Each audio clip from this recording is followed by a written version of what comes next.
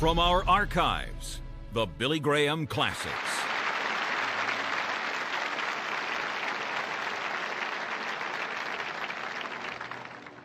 Now, I want you to turn with me, if you will, to the ninth chapter of the book of Hebrews.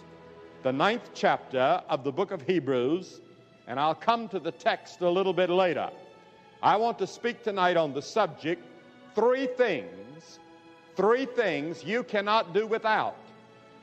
Three things you cannot do without. My father was not a poor man. He was not a wealthy man. He would be called middle income. He made whatever you can make on a two or three hundred acre red dirt farm in North Carolina. I never did look at his bank account, never knew how much he made. He seemed to have enough on the table, and we always had one suit of clothes a year, and we had five cents of ice cream every Saturday night, and we did pretty well. Look at the Waltons. You'll see a little bit about how we lived in those days in the mountains of North Carolina. You know, Immanuel Kant once said, A man is rich not by what he owns, but by what he can do without. You're not rich by what you own, but what you can do without. I've always remembered that statement. And as we're entering a recession, I guess we're in one, or a depression, whatever you call this that we're in, you'd be amazed at what you can do without. We may have to go back and live like we lived when I was a boy, I, but I'll tell you, you could walk down the streets of all the towns around there and you wouldn't be afraid of being hit over the head or mugged. You never heard of a rape I guess they had them. I never heard of them. I don't ever recall hearing about a murder in our community. And somehow or another, we children thought we were the happiest people in the world. And we had to work from 3 in the morning till sunset. My mother always served breakfast at 5:30 every morning.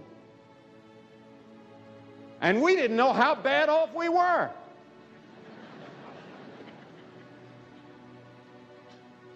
Now, the Bible says there are at least three things you can't do without. If you are to have joy and peace and assurance and your sins forgiven and to know that you're going to heaven, what are they? The first one is found in Hebrews 9:22.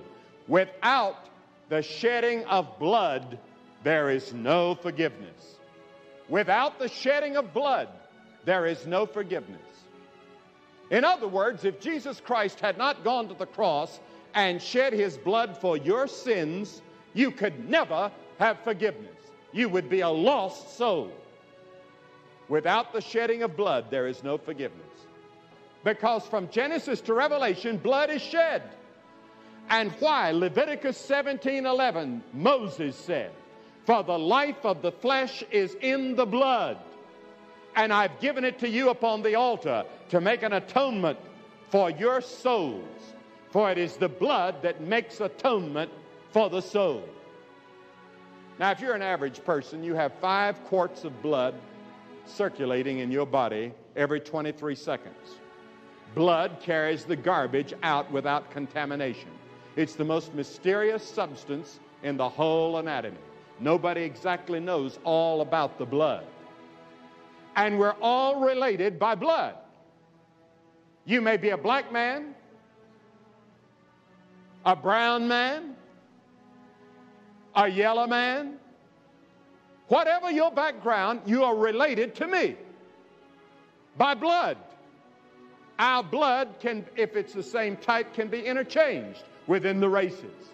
The scripture says, the Apostle Paul said, God hath made of one blood all the nations of men to dwell on the face of the earth. When I have a blood transfusion, as I've had on several occasions when I've had operations, I didn't ask him, What's the color of the man's skin that blood came out of? I just want to get it in there fast as I can. Our blood, we're related. We're related to Adam. Adam and Eve were the first parents. And Adam and Eve sinned against God and they broke God's law. They rebelled against God. And then an interesting thing happened. They tried to cover their sins with fig leaves. And they couldn't do it. You know what God did? God went out and slew some animals and blood was shed. And God was teaching man from the Garden of Eden to this very hour that if you're to have forgiveness of sin, blood has to be shed. And you go all the way down through the Old Testament, it's the same thing. I go in the New Testament, it's the same thing. When Cain and Abel, they were the first sons of Adam and Eve. Cain came along and brought his sacrifice, but there was no blood in it. Abel brought his, and there was blood in it. God accepted Abel's and rejected Cain's, and Cain got mad and became jealous of his brother and killed him, and you had the first murder in the history of the human race, according to the Bible. And then you remember that night in Egypt. God said, I'm going to kill as a judgment in Egypt the firstborn of every house in all of Egypt. And every Jew remembers that even to this hour, and they celebrate it every year. I want you to take some blood, an animal, slay an animal, take the blood and put it on the doorpost. And when I see the blood, I'll pass over. Not when I see your good works, not when I see how rich you are, not when I see what church you belong to, but when I see the blood, I'll pass over. Why? You go to the communion on Sunday and you take of the wine or the grape juice, whatever your church serves. That wine or that grape juice stands for blood. The blood that was shed on the cross. John the Baptist cried out, Behold the Lamb of God that taketh away the sin of the world. Why did he call him a lamb? Because as a lamb, he was going to the cross. His blood was to be shed for your sins. He takes away the sins of the world. And that blood tonight can cleanse every sin you've ever committed. There's power in the blood. Without the shedding of blood, there's no forgiveness. Do you want forgiveness tonight?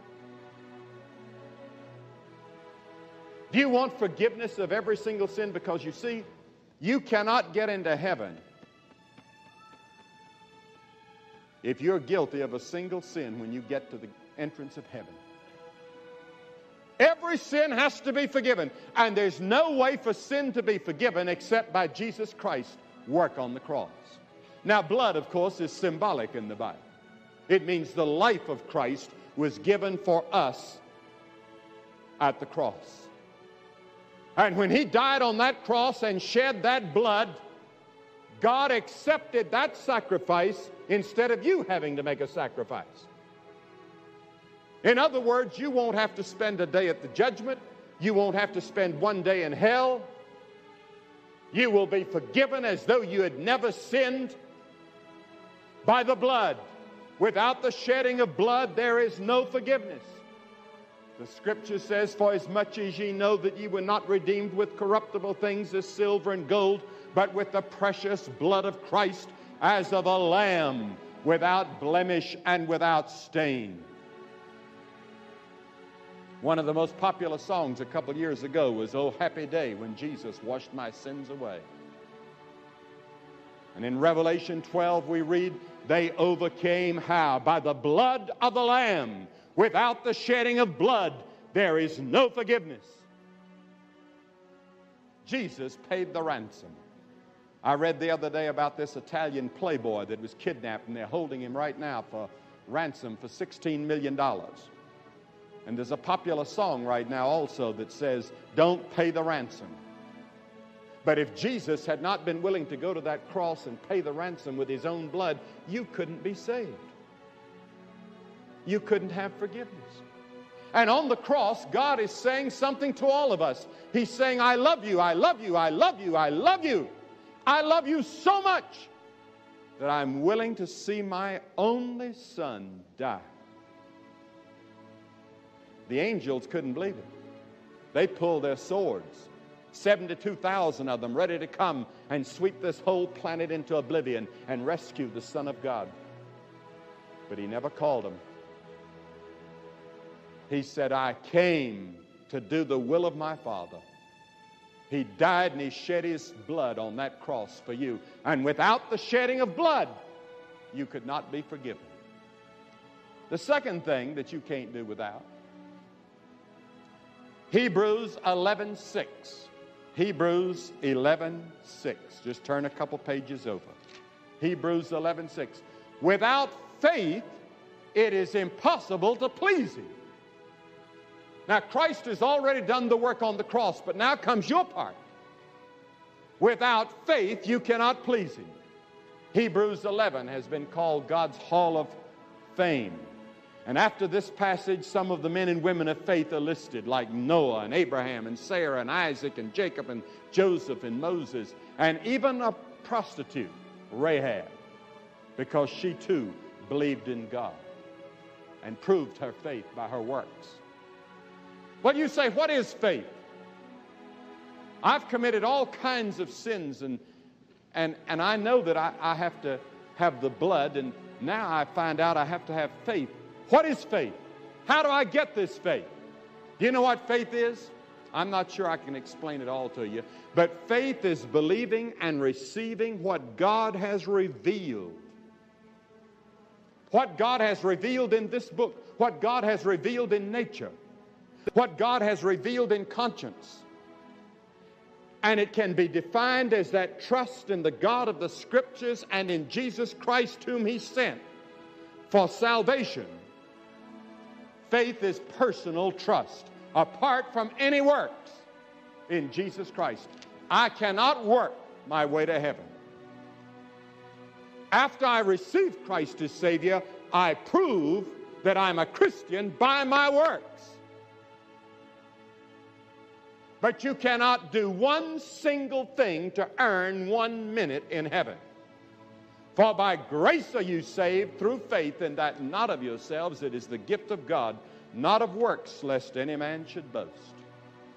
But to him that worketh not, but believeth on him that justifieth the ungodly, his faith is counted for righteousness. My salvation does not depend on even 1% of what I do or am. It depends entirely on the work of Jesus Christ at the cross and the fact that I have received him as my Lord and my Savior. But after I'm saved, I am sinning every minute and every day if I'm not working for my Savior and abiding in him. And faith without works is dead, said James. Now, the Bible teaches that faith is the only approach to God. For he that cometh to God must believe that he is. And the Bible tells us that faith is commanded. Jesus said, Have faith in God. And that's an imperative there in Matthew uh, or Mark 11. And then on another occasion, John said, and this is his commandment, this was the commandment of Jesus, that we should believe on the name of his Son, Jesus Christ.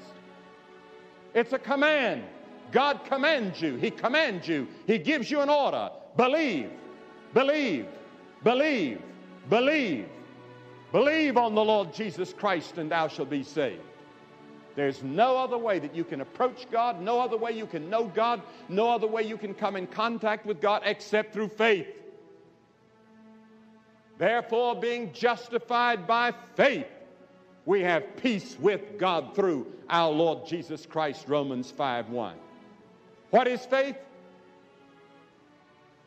The reception of the gospel, confidence in God and His Word, being confident of this very thing, a total dependence on Christ for our forgiveness and for the fulfillment in our lives.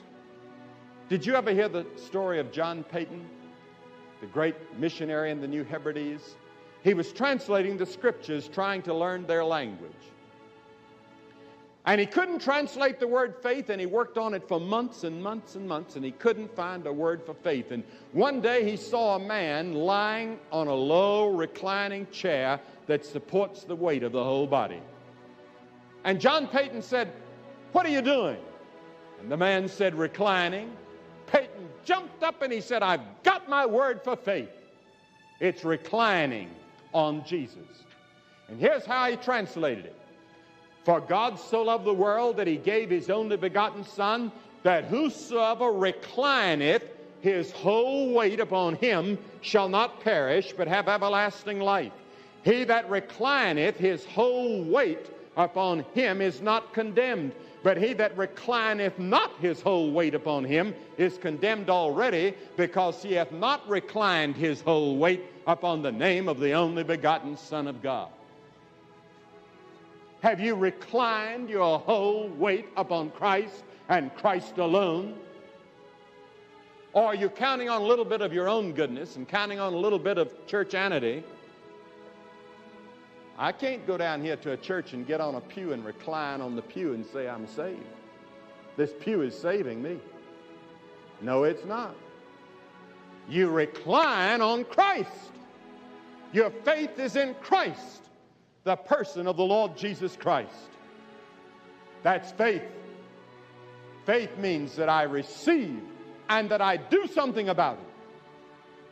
I'm asking you tonight to put your whole weight on Jesus Christ. Jesus plus nothing. Just Jesus. And then the third thing that you cannot do without First, without the shedding of blood, there's no forgiveness of sin.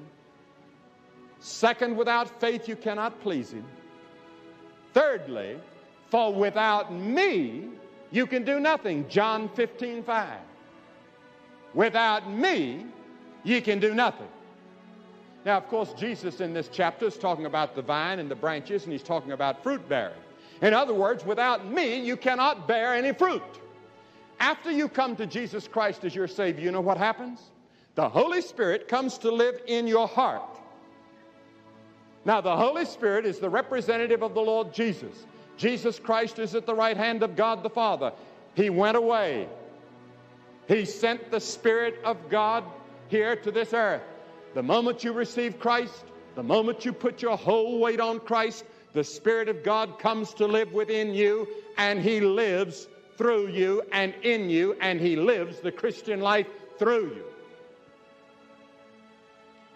Now, one of the most important chapters in all the Bible is this 15th chapter of John. And those of you that come forward tonight, we're going to give you a Gospel of John. And I hope you'll read this chapter right away because it's an important picture of our Lord Jesus Christ and our relationship to Him. You see, this is the grapevine that he's talking about, and grapevines were grown all over Palestine in those days and they needed a lot of attention. They grew fast. And they were drastically pruned every December and January. And they bore two kinds of branches, those grapevines. One was fruit bearing, and the other bore no fruit at all. So the, not, the, the branches that bore no fruit were drastically pruned back so that they would drain away none of the strength from the root and from the vine itself. Now, the wood of the vine has the curious characteristics that it wasn't good for anything. It was too soft for any purpose, so they would take these false branches, these branches that didn't bear anything, and have a big bonfire with them. And Jesus says his followers are like that. Some of them are lovely, fruit bearing branches of himself. Others are useless because they bear no fruit. And Christians, professing Christians, whose Christianity consists of just professing without practice, words without deeds. I believe the Bible from cover to cover, and I believe the whole the cover because it says Holy Bible, somebody said. A man told me, he said, I'm a fundamentalist with a big F. And he, he looked as mean as I've ever seen. He meant it too. And he was. But that doesn't necessarily mean that you're right with God. You've got to prove it by bearing fruit. You've got to prove it by bearing fruit. What kind of fruit? The fruit of the Spirit love and joy and peace and gentleness and long suffering, all those fruits of the Spirit. They are to characterize the true believer in Jesus Christ. By their fruits ye shall know them, said Jesus. By their fruits ye shall know them. There are many of you here tonight, you look like a Christian. You act like a Christian in many ways, but deep inside there's no abiding in Christ. There's no life, there's no sap. The fruit isn't there. Three ways in which we can be useless branches. One, you can refuse to listen to Christ at all. Second, you can listen and then render him lip service unsupported by deeds. Thirdly, you can accept him as master and make him Lord of your life. Because when you come to Jesus Christ, you not only accept him as Savior, but you accept him as Lord, the Lord Jesus Christ. He must be Lord of your eyes, Lord of your ears, Lord of your tongue, Lord of your hands, Lord of your feet, Lord of your pocketbook, Lord of your bank account, Lord of your family. He's first in every area of your life.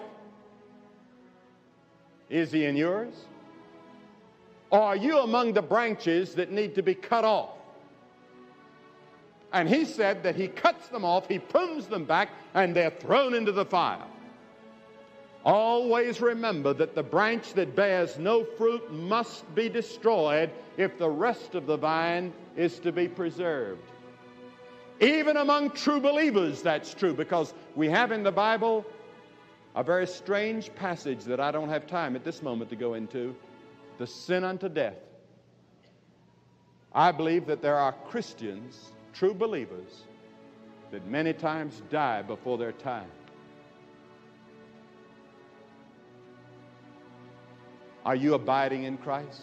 Jesus withdrew himself into solitary places to meet God, and we must do the same thing.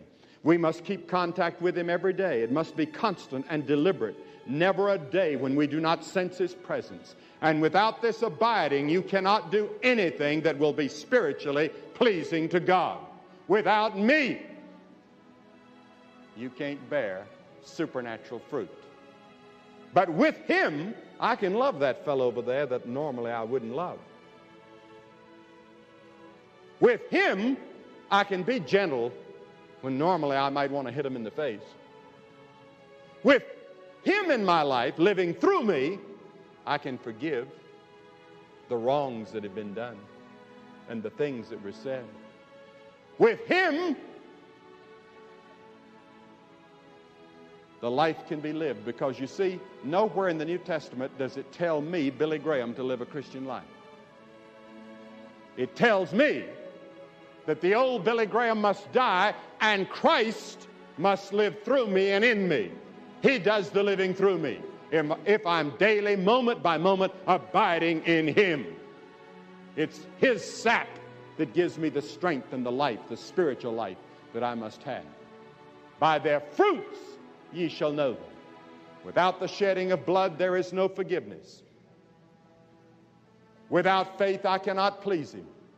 Without me, ye can do nothing. I'm going to ask you tonight to receive Christ into your heart. Let him forgive your sins. I'm going to ask you to recline all your weight. Maybe you've put 90% of your weight, but I'm asking you tonight all your weight on Christ. I'm asking you tonight to make him Lord as well as Savior of your life. You may be a member of the best church in town, but you really need Christ in your heart. You may not be a member of any church, whoever you are and whatever you are. I'm going to ask you to get up out of your seat right now, hundreds of you. Get up and come and stand in front of this platform and say, by coming, I want Christ in my heart. I want forgiveness. I want to put my whole weight on Him. And after you've all come and stood here, I'm going to say a word to you and have a prayer with you. We're going to give you some literature. Then you can go back and join your friends. If you've come with friends and relatives or come in a bus, they'll wait. It won't take but just a moment in this stadium. You come quickly right now. Hundreds of you from everywhere. You may be in the choir. And you've been singing all these nights, but you're not sure that Christ is in your heart. You come. We're going to wait.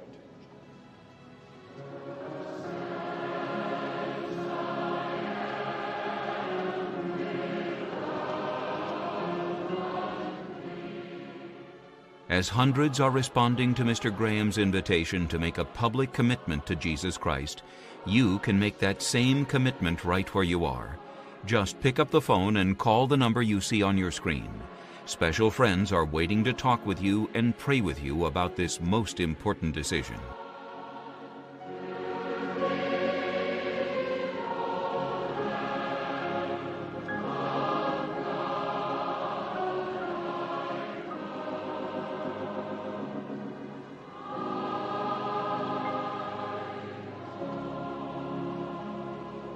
You that are watching by television can see, there are hundreds of people here at the University of New Mexico that are coming to make their commitment to Jesus Christ. You can make your commitment where you are now. You can put your whole weight on Him and say, Yes, Lord Jesus, come into my life. And He will. God bless you. If you just prayed that prayer uh, with my Father, or if you have any questions about a relationship with Jesus Christ, I would just call that number that is on the screen. There'll be someone there to talk with you, pray with you, and answer those questions. And remember, God loves you. If you would like to commit your life to Jesus Christ, please call us right now toll free at 1 877 772 4559. That's 1 877 772 4559 or you can write to us at Billy Graham, 1 Billy Graham Parkway, Department C, Charlotte, North Carolina 28201. Or you can contact us on the web 24 7 at peacewithgod.tv. We'll get the same helps to you that we give to everyone who responds at the invitation. On behalf of Franklin Graham and the Billy Graham Evangelistic Association, thank you for watching and thank you for your prayers. From our archives, the Billy Graham Classics. Now, tonight, I want to speak on John's Gospel, the 11th chapter, the 25th verse. And Jesus is speaking to Martha. Lazarus has died, and Lazarus is in the tomb, and Jesus is trying to comfort Mary and Martha, the sisters of Lazarus. And here's what he says Jesus said unto her, I am the resurrection and the life. He that believeth in me, though he were dead, yet shall he live. And whosoever liveth and believeth in me shall never die. Believest thou this? And she saith unto him, Yea, Lord, I believe. I believe that thou art the Christ, the Son of God, which should come into the world. You know, the Bible talks about three parts of us the Bible says that we are built with three things. First, we have a body. Now, your body allows you to see people, to walk, to hear, to shake a hand, but the body can never make a friend. It is the soul and the personality that has the capacity to love a person and to have social relationships. And most of us don't like to go to funerals. We don't like to talk about death. And we in America have a great fear of death. And the Bible says in Hebrews, the second chapter, who through the fear of death were all their lifetime in bondage. The fear of death can hold you in bondage all your life, says the Bible. In Genesis 3:19 the Bible says, "For dust thou art, and unto dust thou shalt return."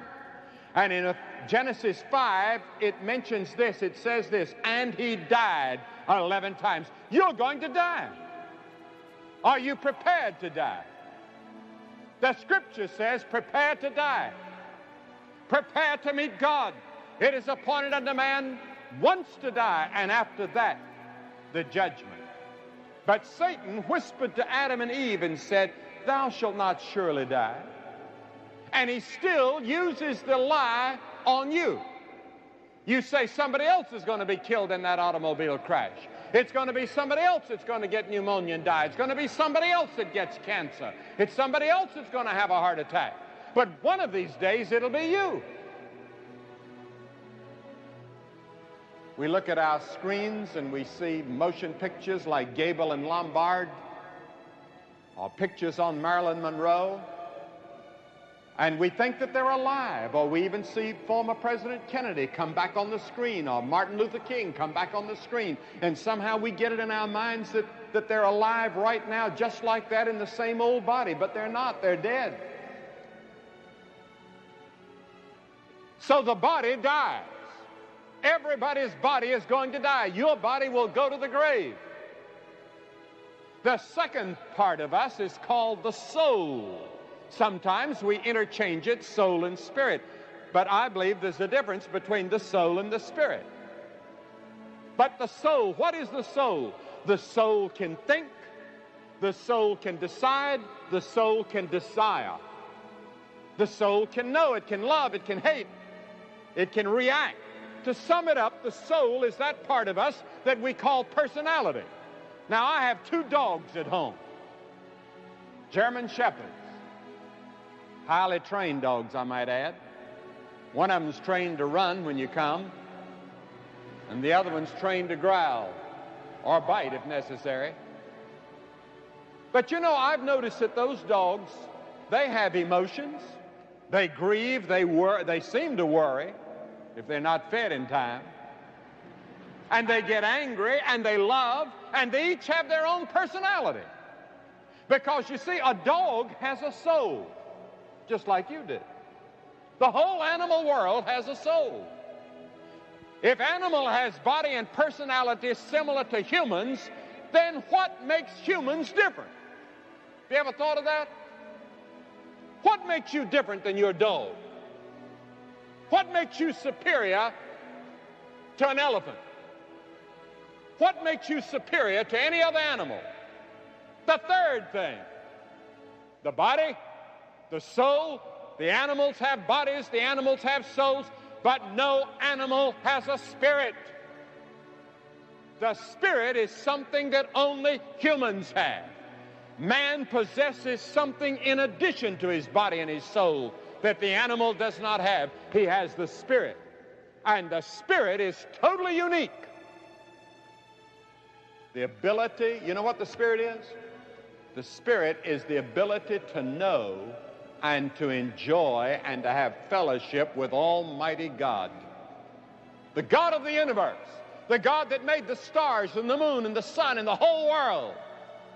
You, just little old you, can have fellowship with that mighty God because God gave you a spirit. You are a spirit.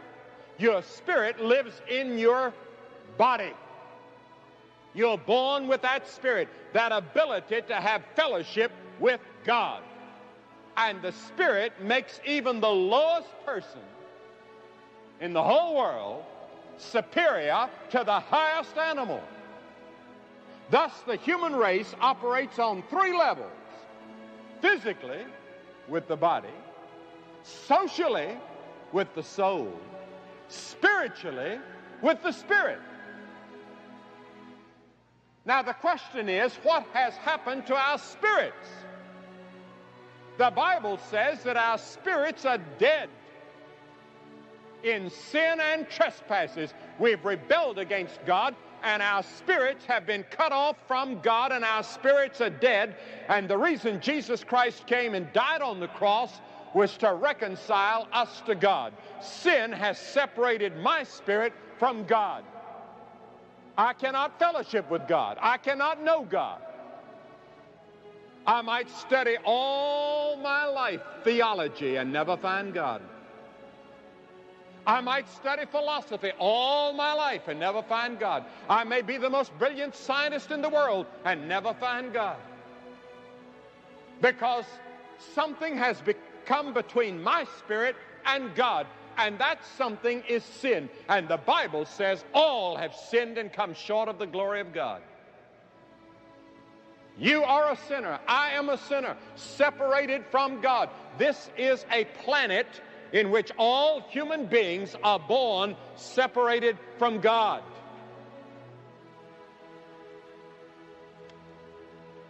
You can be physically alive, soulishly alive, but spiritually dead. The Bible says, She that liveth in pleasure is dead while she lives. There's a country western song this year that has an older cowboy singing to a younger one that's what needed is faster horses, younger women, older whiskey, and more money. And that's what the world is alive, but dead. Faster horses, alive, but dead. Very much like the man Jesus told about, who was a rich man. And he said, Soul, take thine ease, drink and be merry. You've got many years. Build bigger barns. And God called him a fool, and God killed him that night. And God said, Thou fool. Many of you think that you have years and years and years and years.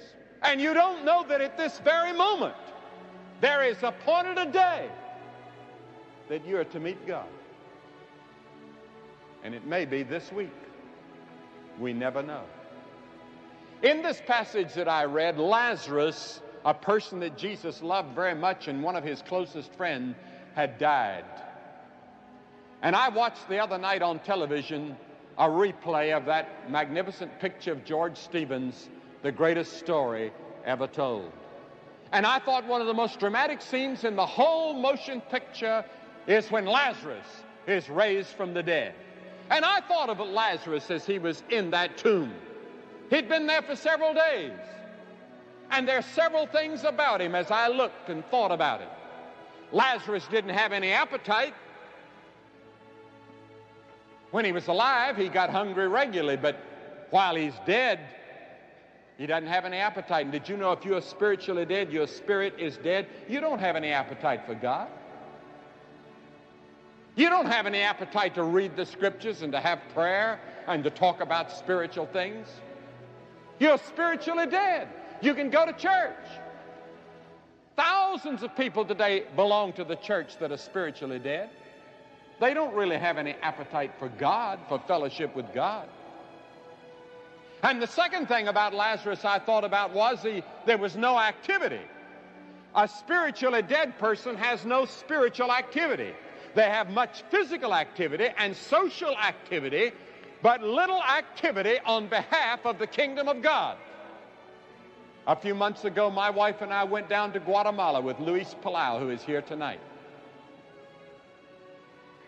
Right after the earthquake. And we saw devastation on a scale we have never seen anywhere in the world. And our hearts ached for those people. And I said, by the grace of God, we're going to do all we can for the hungry and the needy and the hurting people of the world, whether they're at home or whether they're abroad. Activity for the kingdom of God. And then another thing about Lazarus, there was no awareness. He was not aware of his friends. Dead men don't love. Dead men don't see danger. Dead men are, are unmoved by hunger. Dead men don't weep. And then the fourth thing, he was blind. And the Bible says that we too are blind. We have spiritual blindness. Your spirit can be blind. The Bible says the God of this world hath blinded the minds of them that believe not. You are spiritually blind. And then the fifth thing about him was he smelled. He'd been dead for four days, and they said he already stinks. But you know what the Bible says? The Bible says all of our righteousness and our goodness that we try to pile up to please God smells in the sight of God. It's like filthy rags, the scripture says in Isaiah 64, the sixth chapter. We're saved by grace through faith, that not of ourselves. It's the gift of God, not of works, lest any man should boast. And then the sixth thing about Lazarus was he was bound. You know, the Oriental's method of embalming was one of the most effective the world has ever known. It consisted of endless wrappings. And yet, you are alive tonight physically, you're alive as far as your social activity is concerned, but you are bound and spiritually dead. You're bound by habits and sin. Johnny Cash talked a moment ago about drugs and alcohol and men are bound by the chain of habit, the lust and sin of drugs, the lust for money, the lust of the flesh, the pride of life, sex sins. All of that indicates spiritual deadness. Soulishly, you're alive. Physically, you're alive, but your spirit is dead toward God. Would you like to be made alive tonight? Totally, completely fulfilled, totally alive, spiritually? What can you do? Well, let's think what could we do for Lazarus now he's dead? Let's give him some food. They say, well, what we need to do is feed everybody. Jesus didn't feed everybody when he came. Do you know that? There are thousands of millions of hungry people in the world. We have compassion. We're to do what we can. But that does not bring about reconciliation with God. They have a deeper hunger, a deeper need to be met. And that's the need of reconciliation with God. You say, well, give people better housing. That's all good. We ought to give people better housing, and I'm for everything that can give better housing to people in this country and people all over the world.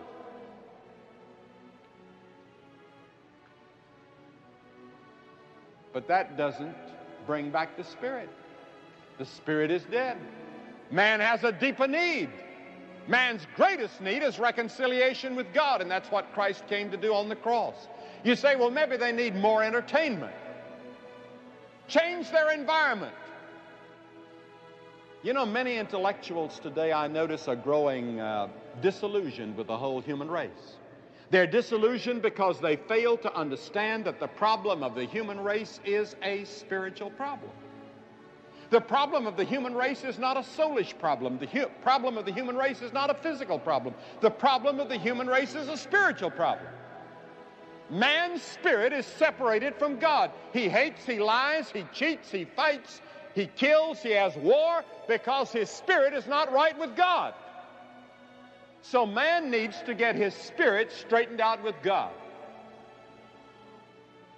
There's one great thing that a dead man needs. You know what it is? He needs life. And Jesus himself claims to be the life that spiritually dead men need. He said that the reason he came into the world was that he might give life more abundantly. He said, here's one of the greatest passages in all of literature. He said, I am the resurrection and the life. Now, if you were a dead person lying in a grave, wouldn't you like to hear that? I am the resurrection and the life. He that believeth in me, though he were dead, yet shall he live. You believe in Jesus Christ. That means to commit to surrender your life to him, to receive him as your Lord and your Savior. And you can have spiritual life. In addition, the Bible says your body is someday going to be raised from the dead. You say, How can that be? I don't know how it can be. I only know that science says that no chemical is lost in the, in the world today, and the God that made it in the beginning can bring it together again. But your spirit will be joined to your body again in the future world if you know Jesus Christ. I am the resurrection and the life. He that believeth in me, though he were dead, yet shall he live. And whosoever liveth and believeth in me shall never, never, never die. Your spirit can be made alive and have fellowship with the God of the universe by believing in Jesus Christ. Now, that is essentially and basically what the gospel is all about, and that's why it's called good news to the world. That's what the word gospel means good news. And it's good news to millions and billions of people who are dead toward God to say that there is a person that can give you spiritual life and change you and make you a new person. You don't get eternal life when you die. You get eternal life the moment you receive Christ. You can have fellowship with God through Bible reading, through prayer, through fellowship with other Christians. You have fellowship with God. Your spirit is alive. Your body may get tired. Your body may get hungry. Your body may be in prison. Your body may be destroyed by the scars of sin that have already taken place. But God will forgive the sin that came between you and God. He will help you and restore you in a thousand ways, but you've got to be willing to go all the way. You know why some people really never find God? They're not willing to go all the way. They want to go part way, third of the way, halfway, three quarters of the way, 90% of the way, 99% of the way. But Jesus won't accept you. He says it's all the way. That's the reason he said in that chapter we read last night, he said, I will not commit myself to you. You believe in me, but I don't believe in you. I know what's in your heart. I know what you're holding back. You've got to be willing to surrender all if you are to have eternal life. Then he turned and he asked Mary and Martha, he said, Believest thou this? And Martha answered and said, Yes, Lord, I believe that you're the Christ, the Son of the living God that should come into the world. And you know, Jesus did an interesting thing. He wept. And the shortest verse in the Bible is Jesus wept. Only three times did Jesus weep. He wept at the grave of Lazarus. He wept at Gethsemane the night before Calvary. And he wept over the city of Jerusalem when he saw that Jerusalem was rejecting him as the Savior.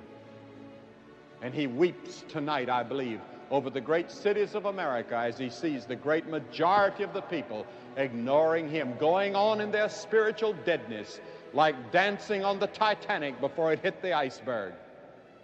And he weeps. There are millions tonight in the tomb of sin. There are thousands here tonight in the tomb of sin. You need to be awakened. Many of you are in the grip of an evil habit too strong to break, worse than a living death. What was Jesus' answer?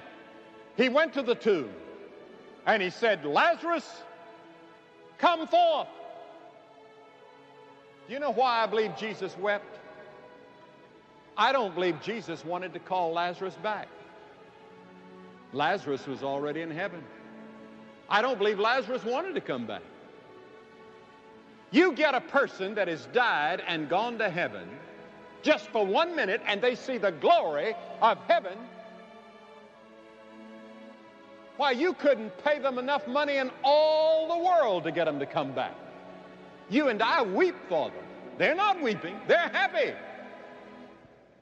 Their spirits are happy in total fellowship with God and their friends and the reunion and the happiness that's taking place there. Jesus wept, I believe, because he didn't want to have to call Lazarus back, but in order for his credentials as the Messiah to be established, he was going to raise the dead. So he said, Lazarus, come forth. If he hadn't said the name Lazarus when he said, come forth, every person that had ever died in the history of the world would have come out of the grave. So he said, Lazarus, come forth. And Lazarus came forth. But Lazarus was still tied in the old clothes. Jesus said, Loose him.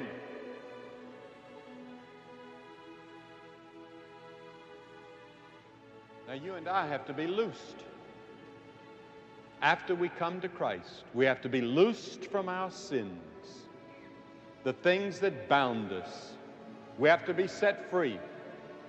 And there's many a person that says to me, Billy, I would like to come to Christ, but I don't think I could hold out. You're right. You can't hold out. But He'll hold you.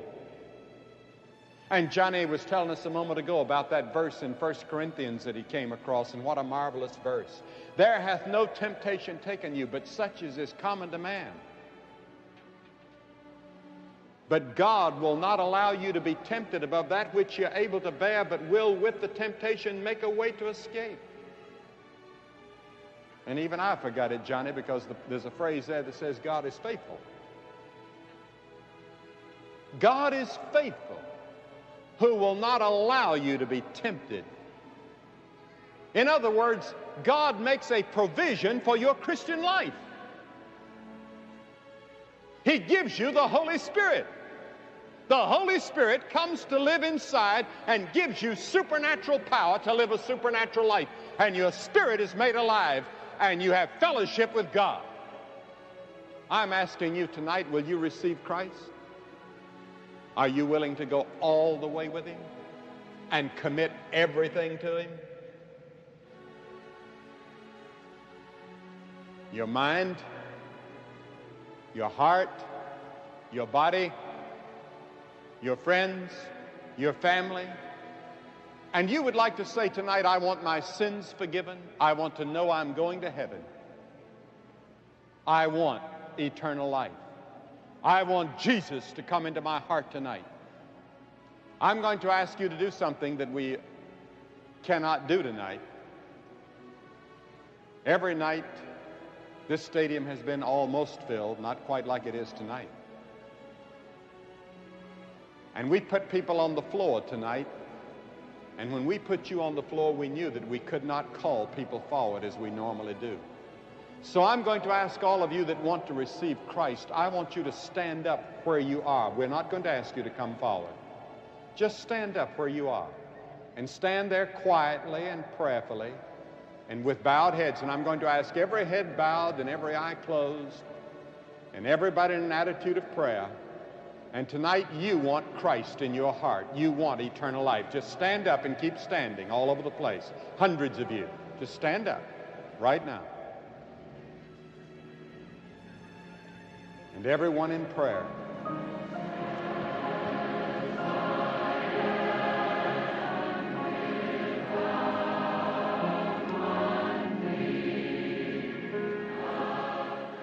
If you would like to commit your life to Jesus Christ, please call us right now toll free at 1 877 772 4559. That's 1 877 772 4559.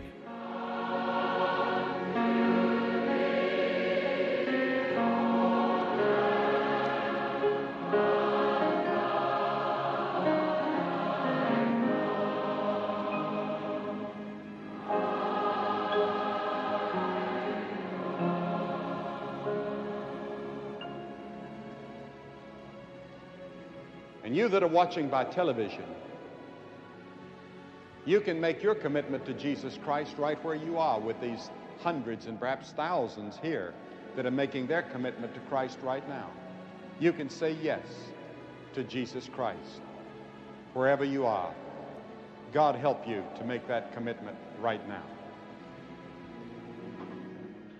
If you just prayed that prayer with my Father, or if you have any questions about a relationship with Jesus Christ, I would just call that number that is on the screen. There'll be someone there to talk with you, pray with you, and answer those questions. And remember, God loves you. If you would like to commit your life to Jesus Christ, please call us right now toll free at 1 877